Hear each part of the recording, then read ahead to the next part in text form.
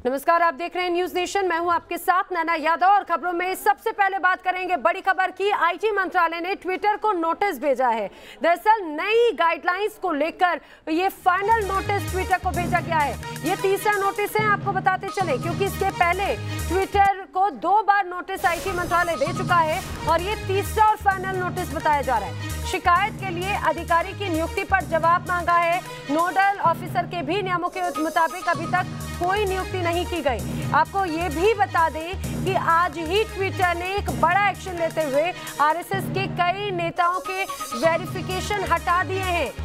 कई नेताओं के आरएसएस के कई नेताओं के नाम के आगे से ब्लू टिक हटा दिया है और विवाद और भी ज़्यादा बढ़ गया। इसके बाद में ये नोटिस भेजा गया। हालाँकि ये नोटिस गाइडलाइंस नहीं मानने के चलते भेजा गया।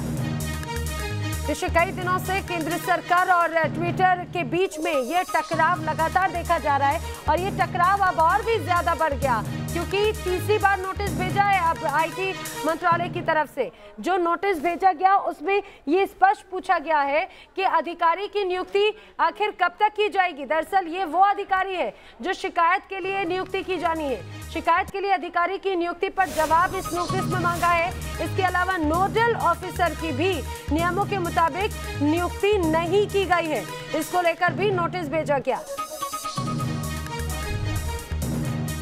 विकास चंद्रा मेरे सहयोगी समय मेरे साथ में जुड़ रहे हैं। विकास, एक तरफ़ जो तमाम नेता हैं आरएसएस के, उनके नामों को के आगे से ब्लू टिक हटा देना, यानी कि उन्हें अनवेरीफाइड करना। दूसरी तरफ़ आईटी की भी एक तरफ़ से सख्ती यहाँ पर नज़र आ रही है। टकराव दोनों तरफ़ से बढ़ रहा है। जी, निश्चित तौर पर टकराव अब दोनों तरफ़ से दिखाई दे रहा है। जिस तरीके से पिछले काफ़ी दिनों से केंद्र सरकार, जो सोशल मीडिया के जो प्लेटफॉर्म्स है, खासतौर पर ट्विटर हो गया, व्हाट्सएप हो गया, फेसबुक हो गया, इंस्टाग्राम हो गया, उस पर एक नकेल कसने की जो कोशिश कर रही है, उसी से इसको जोड़कर देखा जा रहा है। और यहाँ तक कि आरएसएस के सरसंघ चालक जो सर्वोच्च है, उनके अकाउंट को भी अनवेरिफाइड कर दिया गया है। और देखे कि अब जो केंद्रीय मंत्री रविशंकर प्रसाद है, इलेक्ट्रॉनिक और इन्फॉर्मेशन टेक्नोलॉजी मिनिस्ट्री ने ट्विटर को कड़े शब्दों में चेतावनी देते हुए नोटिस भी दिया है और कहा है कि अगर भारत के कानून को ट्विटर नहीं मानता है तो भारतीय कानून और यहाँ के पैनल के हिसाब से उसके खिलाफ कार्रवाई की जाएगी। यानी साफ़ शब्दों में अब मिनिस्ट्री ने ट्विटर को चेतावनी दे दी है कि वो मनमानी नहीं कर सकता है। जो भारत सरकार ने रूल बनाए हैं, कानून बनाए हैं, जो भारत सरकार की मांग है, उस पर ट्विटर को चलना होगा। तो जिस तरीके का कड़ा रुख इस समय भारत सरकार का है, उसी से ट्विटर के रुख को भी जोड़कर देखा जा रहा है। और यही वजह है कि जहाँ एक तरफ़ आरजेडी जैसी पार्टी को ट्विटर ने डबल टिक दिया है तो वहीं राष्ट्रीय स्वयंसेवक संघ के सरसंघ चालक तक के अकाउंट को अनवेरिफाइड कर दिया है।